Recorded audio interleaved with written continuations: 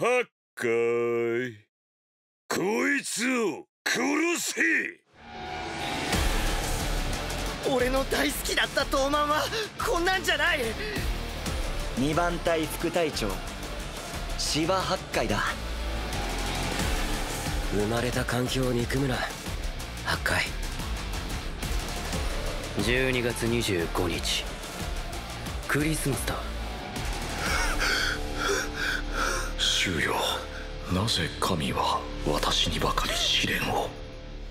俺はお前を大丈殺す。ブラックドラゴンのボスは芝大樹。大樹は私らの兄貴。俺さどこ目指してんのか分かんなくなっちゃった。これはこれは。若じゃねえかよてめえら全員殺してやる。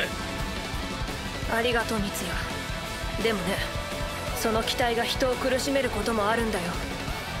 そんな顔すんな八海。分かってっから。決めたぜ千冬。ブラックドラゴンをぶっ潰す。